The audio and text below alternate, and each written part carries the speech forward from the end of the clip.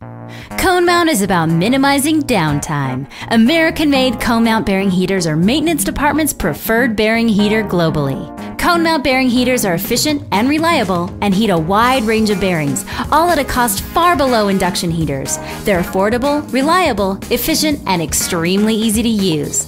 When you're ready to install your new bearing, go ahead and grab your lightweight bag out of the back of your van. Dramatically unzip the bag and pull your ConeMount heater out of that beautiful bag.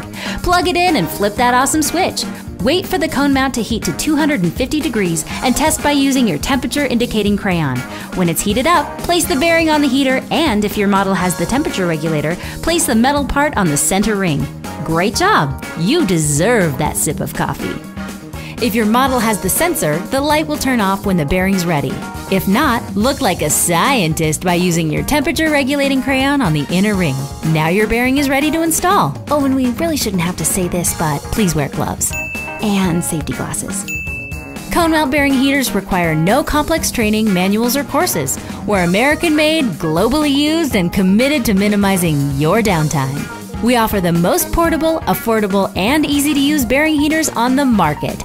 Visit us at conemount.com for information on having a quality ConeMount bearing heater shipped directly to you.